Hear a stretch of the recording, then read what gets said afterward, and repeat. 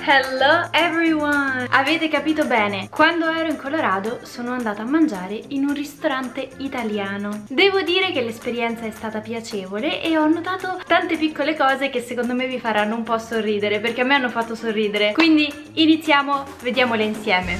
Da fuori il ristorante è molto carino, i tavoli all'aperto, niente di particolare, ma per fortuna non c'erano quelle, sapete le tovaglie? Quelle rosse con i quadretti che mettono sempre in America per fare italiano, cioè non c'erano ragazzi, meno male, non c'erano. La cosa particolare che ho notato dell'ambiente più che altro era che nonostante non fosse una pizzeria o un pub informale ma fosse proprio un ristorante, c'erano almeno tre schermi per guardare i vari sport. E c'era la partita, c'erano le Olimpiadi, un'altra cosa, magari da noi ad un ristorante tre schermi per guardare le partite non è la cosa più comune. E la seconda cosa che ho notato è che era pieno pieno pieno pieno pieno di camerieri ma davvero c'erano tantissime persone che lavoravano lì e secondo me anche questo è più legato al servizio dei ristoranti in America perché avete visto il cameriere viene spessissimo è abbastanza veloce come servizio. Per il resto però un ristorante carino, normale, accogliente. Passiamo al menù che è la cosa che diciamo che mi ha sorpreso un po' di più.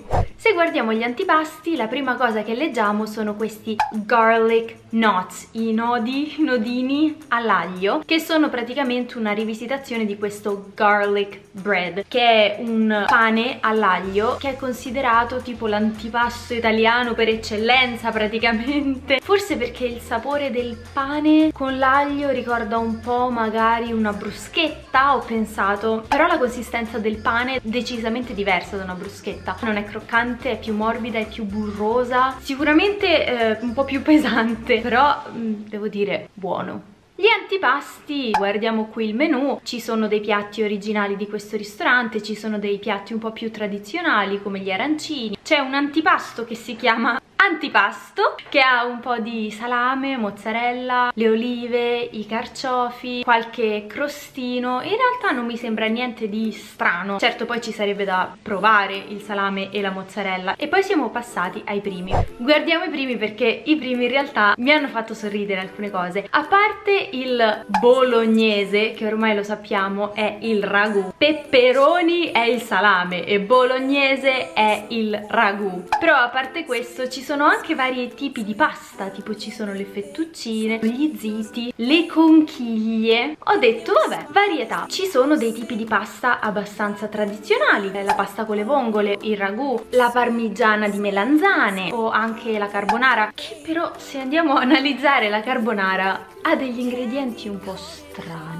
Ve li leggo, abbiamo il bacon caramellato, le cipolle rosse rosolate, l'aglio, i pomodori pachino, tutto rosolato con il vino bianco e con la besciamella fatta in casa mi ha fatto anche sorridere perché su questo menù di ristorante che non è neanche tra i più economici diciamo mi ha fatto sorridere che c'erano questi piatti della tradizione italiana che magari da noi di solito non troveremmo in un ristorante proprio sul menù perché magari sono piatti che ci facciamo a casa tipo la pasta aglio e olio così semplice. Io non so se l'ho mai trovata in un ristorante in Italia. Certo poi la puoi chiedere. Certo io me la faccio sempre a casa. Però non so se l'ho mai trovata in un ristorante. Oppure c'erano due tipi di pasta al sugo la pasta al pomodoro e la pasta al basilico che aspetta vediamole insieme analizziamole insieme allora la pasta pomodoro e basilico ha i pomodori pachino l'aglio l'olio il limone il basilico tutto con una salsa al vino bianco con le fettuccine puoi anche aggiungerci pollo gamberi o salsiccia. La pasta pomodoro invece ha l'aglio rosolato nel vino bianco, i pachino, gli spinaci, il peperoncino, il basilico, ma sono rigatoni. Poi c'erano dei tipi di pasta che non ho mai sentito, tipo la Diablo, che non è neanche un nome italiano. Sembra bella carica, eh? Però non sembra male. Questa qui invece ha gli spinaci rosolati, le cipolle bianche, l'aglio, il peperoncino, la salsa marinara fatta in casa, la besciamella, la sriracha, tutto con gli spaghetti e anche qui puoi aggiungere pollo, gamberi o salsiccia.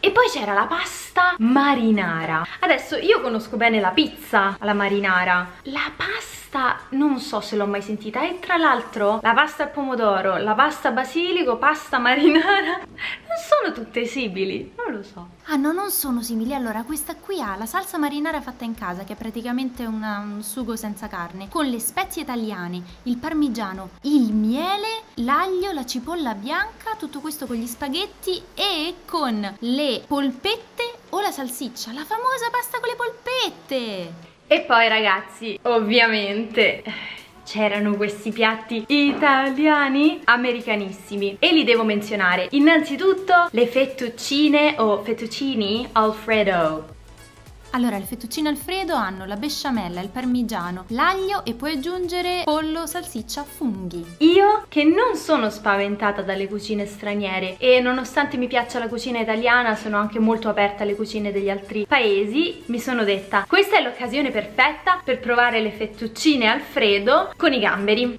Che cosa sarà? Vediamo. Brian ha preso una pasta cotta al forno con sugo e non mi ricordo che cosa, ma c'erano dei pezzi di salsiccia, mentre il padre di Brian ha preso questi conchiglioni, sempre cotti al forno. Really? Better than Italy. Way better than Italy. It came with a spoon! Yeah, I was surprised when mine had a spoon too. Her first bite. Come on. It's a different taste. It's good. The pasta is not al dente, but it's not overcooked. So the pasta is good. The overall tastes good. Let me try the shrimp. Better than Italy? Beh, I'm Italian. I just looked at somebody's plate. Full. I looked at my dad. He told me a story. Two minute story. I look back at her plate. Gone.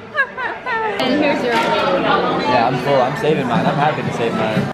Ragazzi, io la pasta me la sono finita. Era la pasta migliore che io avessi mai mangiato? No, però non era scotta, non era al dente, ma non era neanche scotta e questo io lo apprezzo sempre nei paesi stranieri. C'era tantissima salsa, forse un po' troppa perché era davvero tanta tanta tanta tanta salsa. Era molto agliosa perché secondo me usano comunque la polvere d'aglio non tanto gli spicchi di aglio interi quindi sapeva tanto di aglio. Però non è che era cattiva. Secondo me era abbastanza buona. Io me la sono finita tutta in 5 minuti quindi. Italiana? no non è un sapore italiano. Se dovessi dire la, pasta italiana è più semplice pochi ingredienti. Non lo so meno pesante era abbastanza pesante. Però se secondo me se un italiano la prova con una mente un po' più aperta di sicuro non vomita secondo me era abbastanza buona. Una cosa di cui non ho ancora parlato è la carta dei vini perché io non bevo, non abbiamo preso vino. Anzi il padre di Brian l'ha preso il vino. Però ve la faccio vedere qui. Non mi sembra che ci siano moltissimi vini italiani in realtà su questa carta. Però è anche vero che il vino di importazione costa un po' di più quindi eh. poi per me non è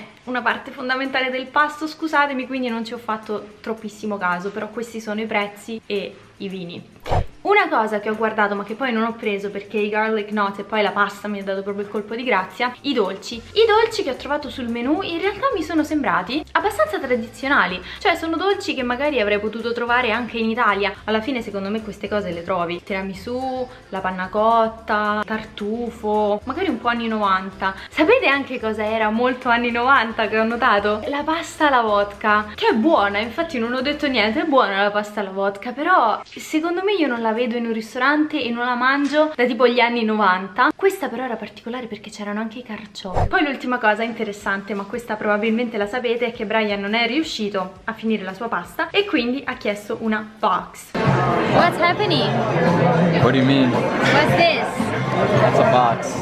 Guardate ragazzi, gli americani non mangiano sano, però non mangiano tantissimo a livello di quantità. Secondo me nella mia esperienza con quasi tutti gli americani che ho conosciuto e conoscendo tantissimi italiani, a livello di quantità noi italiani riusciamo a far espandere il nostro stomaco molto di più rispetto agli americani e quindi mangiamo di più. Però per fortuna abbiamo la nostra alimentazione perché se dovessimo finire sempre tutte le porzioni americane di quello che spesso si mangia lì nei ristoranti penso che mm, prenderemo un po' di peso. Però appunto in America non è per niente strano o maleducato assolutamente prendere il box metterci dentro quello che è rimasto e portarselo a casa e poi ci si mangia il giorno dopo. Cioè con un pasto al ristorante moltissime persone ce ne fanno due. Io personalmente no o a me se me lo dai in un piatto io finisco il piatto. E niente ragazzi questa è stata la mia esperienza al ristorante americano. Spero che vi sia piaciuto spero che l'abbiate trovato interessante. Secondo me era interessante e valeva la pena farci un video.